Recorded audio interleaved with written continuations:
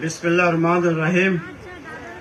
বরিশাল বিভাগীয় এসএবি পণ্য মেলা দুই হাজার তেইশ, যেটা এক তারিখ থেকে সাতই ফেব্রুয়ারি পর্যন্ত চলবে।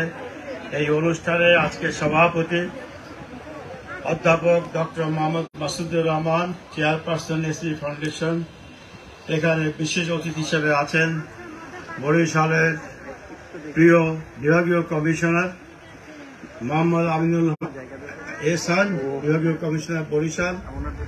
উপস্থিত আছেন জনাব Mohammad Saiful Islam, BPM bar police commissioner Barishal. উপস্থিত আছেন জনাব জাহাঙ্গীর হোসেন, জেলা প্রশাসক। উপস্থিত আছেন এনায়েত হোসেন চৌধুরী, সদস্য পরিচালক পর্ষদ। এই এসিমি উদ্যোক্তা বৃন্দ সুদী মণ্ডলী, ভাই বোনের, আসসালাম আলাইকুম। আমি আমার বক্তব্যের শুরুতেই কবির শ্রদ্ধার সাথে স্মরণ করি জাতির পিতা, বঙ্গবন্ধু শেখ মুজিবুর রহমানের প্রতি। শ্রদ্ধা জানাই তার পরিবার বর্গের প্রতি এবং যেখানে বরিশালের এক কৃতি সন্তান, তার পরিবারের তিনজন সদস্য সহ তারা পনেরোই আগস্ট উনিশশো পঁচাত্তর সালে শাহাদ বরণ করেছে।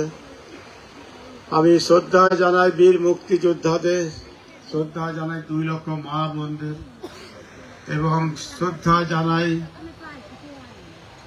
বাংলা ভাষায় কথা বলার জন্য যারা নির্দ্বিধায় তাদের জীবন বিসর্জন করেছেন, সেই সালাম বরকতদের শ্রদ্ধা জানাই চার নেতাদের।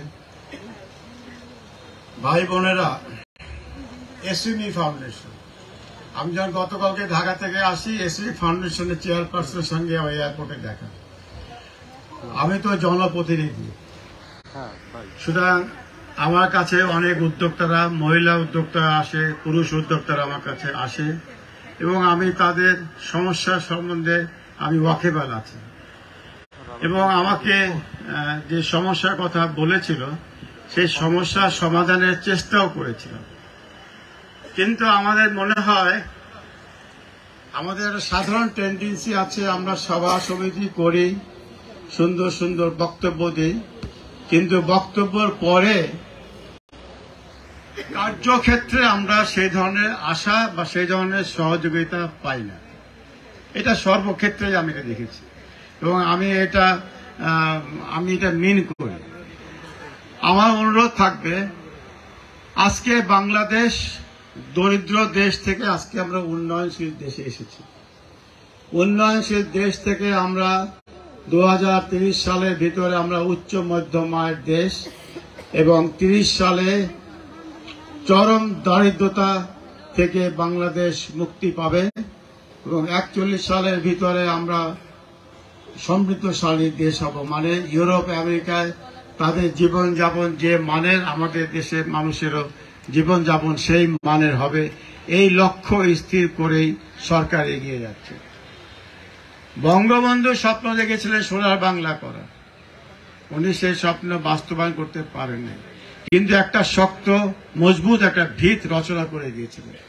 আজকে তার সুযোগ্য কন্যা আমাদের মাননীয় প্রধানমন্ত্রী জননেত্রী শেখ হাসিনা আজকে বাংলাদেশকে উন্নয়নের পথে নিয়ে এসেছে বাংলাদেশ এখন আর দরিদ্র দেশ না, বাংলাদেশ আজ উন্নয়নশীল দেশ। বাংলাদেশ একটা ছোট দেশ। কিন্তু বাংলাদেশের জনসংখ্যা অনেক বেশি, প্রায় সতেরো কোটি মানুষ। আমাদের দেশে আমরা কৃষি নির্ভর দেশ। আমরা কৃষি নির্ভর দেশ, একই সঙ্গে আমরা শিল্প, বিভিন্ন ফ্যাক্টরি গার্মেন্টসে আমরা দিয়ে আমরা বৈদেশিক মুদ্রা অর্জন করি।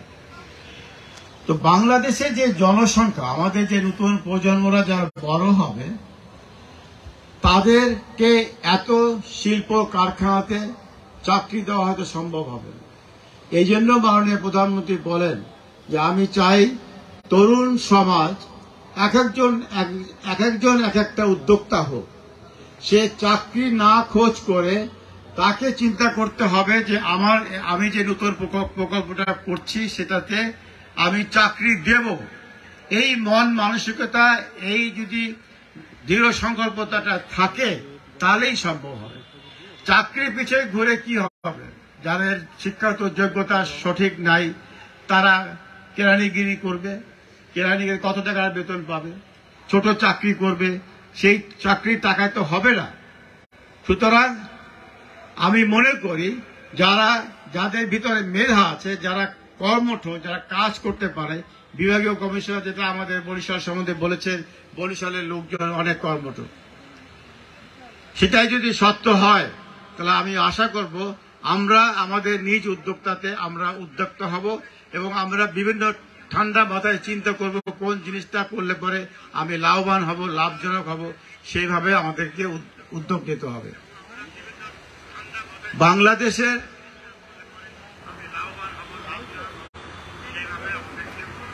গত তারিখে যে আমরা, পদ্মা সেতু যে আমরা নির্মাণের করার পরে যে উদ্বোধন হয়েছে, এই পদ্মা সেতু হওয়ার জন্য বরিশালের লোক এখন আর ঢাকা থেকে বিচ্ছিন্ন না। আমরা ঢাকার সঙ্গে তিন ঘন্টায় আমি, আমরা ঢাকা যেতে পারি। তা আমরা যদি এখানে ভালো উদ্যোগ নিই, সেটা সবজি হতে পারে, মাছের চাষও হতে পারে, কৃষি হতে পারে, পণ্য হতে পারে। আমরা এগুলো এখানে তৈরি করে আমরা এখানে মধ্যসত্ত্ব লোকের কাছে বিক্রি না করে যেটা আগে হতো, এটা আমরা এখন সরাসরি আমরা ঢাকায় নিয়ে যেয়ে বিক্রি করতে পারি।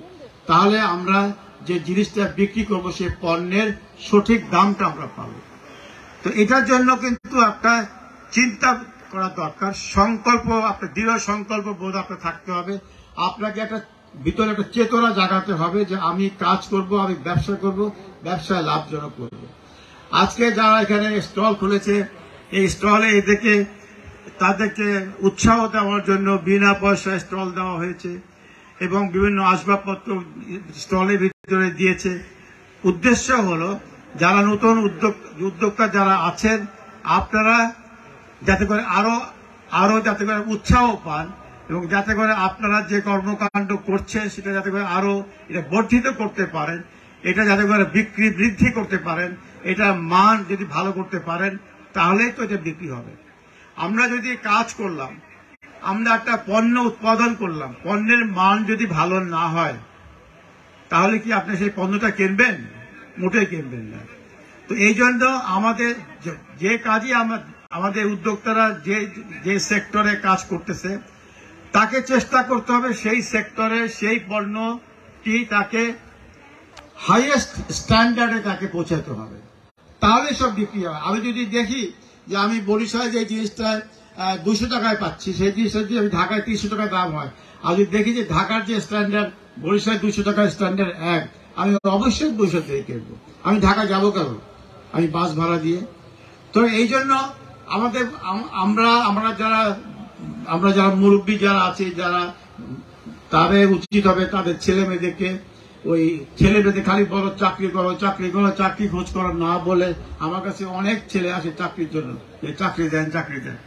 সেটা না করে নিজে নিজে যদি উদ্যোগ নিয়ে কেউ ব্যবসা বাণিজ্য শুরু করে ছোট ছোট উদ- উদ্যোগ নেয়, তাহলে কিন্তু এটা করা সম্ভব। আমি অনেককে অনেকভাবে হেল্প করার চেষ্টা করেছি। আমার কাছে কিছু মহিলা সঙ্গী থেকে এসেছিল, তারা তারা বরিশালে পার্লার পার্লার আছে, বেশ কয়েকটা পার্লার, পনেরো বিশটা পার্লার আছে।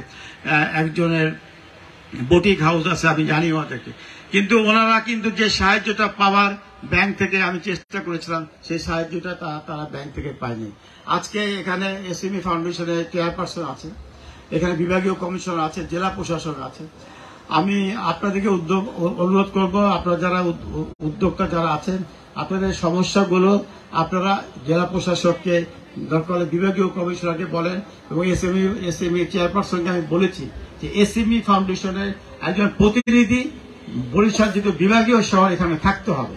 সুতরাং আমাদের যারা উদ্যোক্তা আছে, তার সঙ্গে আলোচনা কর- করতে পারলে তারা তাকে সাপোর্ট দেবে।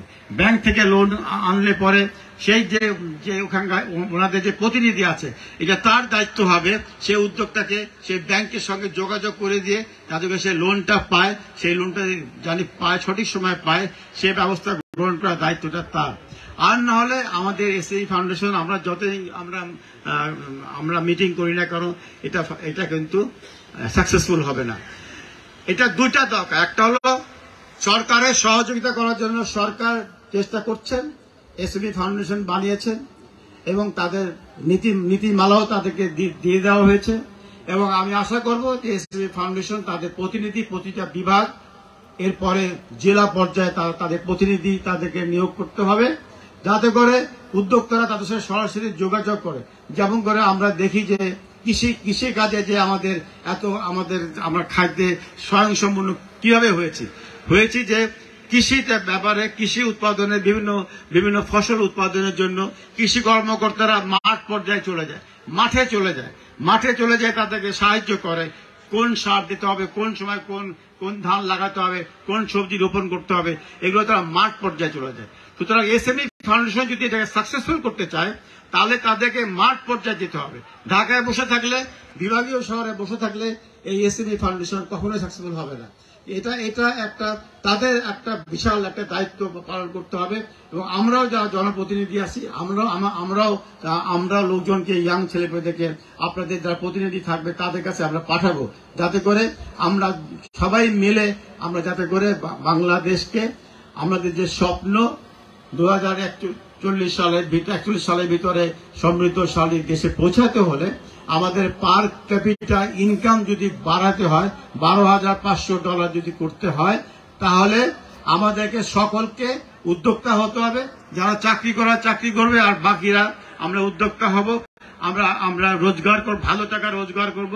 এতে আমাদের বাংলাদেশের পার ক্যাপিটা ইনকাম বৃদ্ধি পাবে। বাংলাদেশের সমৃদ্ধশালীকে পৌঁছাতে হলে আমাদের যারা বেকার ছেলেপেলে যারা আছে, তাদেরকে উদ্যোক্তা হতে হবে। তাদের, তাদেরকে তাদেরকে টাকা অর্জন করতে হবে। তাহলেই আমাদের বাংলাদেশের পার ক্যাপিটাল ইনকাম বৃদ্ধি পাবে। এটা পার ক্যাপিটাল ইনকামটা বৃদ্ধিটা, এটা ওতপ্রোতভাবে জড়িত আমাদের জনসংখ্যা কার্যক্রমের উপরে। তাদের কার্যক্রম কীভাবে করছে, তাদের সাকসেসফুলের উপরে নির্ভর করে আমাদের পার ক্যাপিটাল ইনকাম এবং আমরা দু হাজার একচল্লিশ সালে আমরা সমৃদ্ধশালী দেশে পৌঁছাবো কিনা, এটা নির্ভর করছে এই জন্য। এই জন্য সরকার এর উপর অনেক গুরুত্ব দিয়েছে। গুরুত্ব দিয়েছে দেখেই আজকের এই মেলা, এই হয়েছে, আমরা এখানে আলোচনা করছি। এরপরে এটা সাত দিন ধরে মেলা চলবে যেটা বলা হয়েছে। এটা আমি আশা করব এখানকার বরিশালের স্থানীয় যারা বিকালবেলা বেড়াতে আসেন, আপনারা মেলায় বিভিন্ন স্টলগুলো দেখবেন, আপনারা ক্রয় করবেন পুলিশের যেটা বলল, পুলিশের যেগুলো পণ্য আছে, এটা একদম যে যে খরচটা যেটা হয় পণ্যটা বানাতে, সেই প্রাইসই তারা বিক্রি করে। তো এটা তো আপনারা বুঝতেই পারছেন, তাহলে তো দাম অনেক কম হবে। আমি আশা করব, আমি দেখব আজকে পুলিশের স্টলটা যে পুলিশের স্টলের মান কত ভালো। কারণ মান ভালো না হলে লোকজন কিনবে না। আজকে লোকজনের চোখের ই চেঞ্জ হয়ে গেছে। আমরা ইন্টারনেটে অনেক কিছু দেখি। সুতরাং আমাদেরকে মান যদি পণ্যের দ্রব্যের যদি মান ভালো হয় তাহলে অবশ্যই আমাদের আমাদের স্টলগুলো চলবে এবং আমাদের যারা, বিশেষ করে বরিশাল বিভাগে যে আমাদের যারা উদ্যোক্তারা আছে, তারা তাদের, তারা তারা সাফল্য অর্জন করতে পারবে এবং বাংলাদেশ মাননীয় প্রধানমন্ত্রীর যে স্বপ্ন দু হাজার একচল্লিশ সালের ভিতরে সমৃদ্ধশালী দেশে পৌঁছাবো, সেই লক্ষ্যে আমরা পৌঁছাতে সমর্থ হব। এজন্য আপনাদের সকলের সহযোগিতা চাই। ভালো থাকবেন। জয় বাংলা, জয় বঙ্গবন্ধু।